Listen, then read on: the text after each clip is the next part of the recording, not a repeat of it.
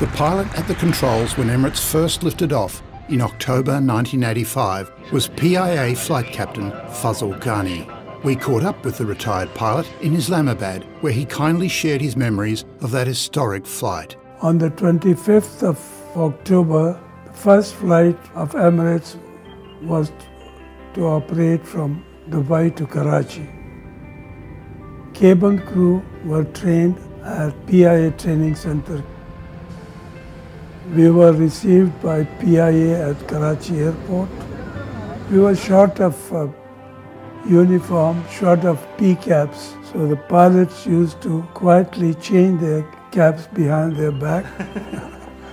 Fazl has followed Emirates' incredible 30 year journey with interest and is proud to have played a crucial role in the story. I was blessed to be part of a very competent professionals to lay the foundation of Emirates.